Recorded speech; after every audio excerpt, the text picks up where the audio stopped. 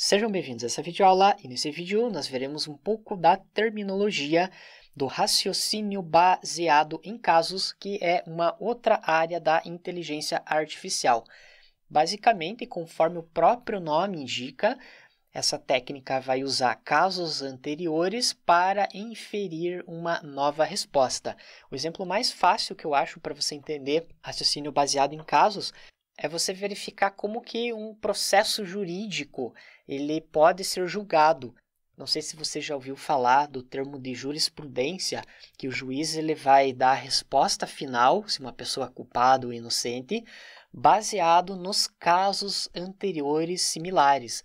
Vamos supor que uma determinada pessoa foi lá no mercadinho e roubou uma laranja. E uma forma dessa pessoa ser julgada é pegar todos os casos passados de pessoas que roubaram uma fruta, roubaram alguma coisa pequena em um mercadinho e verificar quais foram as decisões tomadas.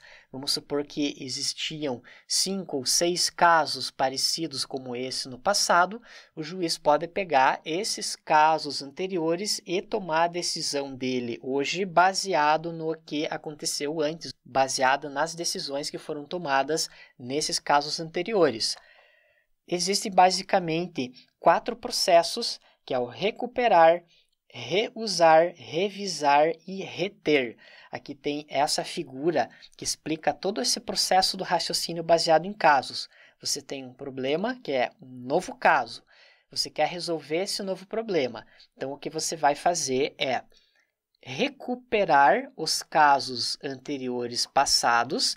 Aqui você tem dois casos parecidos com esse caso novo.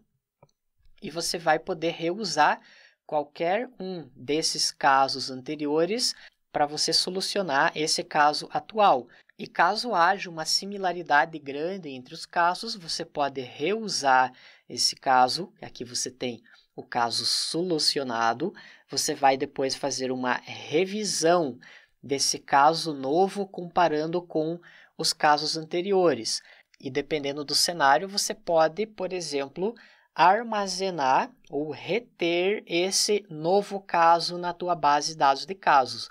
Então, basicamente, acaba seguindo esse fluxo. Você recebe o um novo caso, faz a comparação, reusa os casos anteriores, faz a revisão para dar a resposta e você pode reter esses novos casos na base de dados de casos. Basicamente, esse que é o processo do raciocínio baseado em casos e na próxima aula você vai aprender a pronúncia dessas palavras e já adiantando um pouquinho antes da aula da Rebeca, você vai ver que essas palavras elas são bem fáceis, que elas vão seguir a mesma estrutura. Então, a forma de pronunciar essas palavras serão praticamente a mesma. Obrigado e até a próxima aula!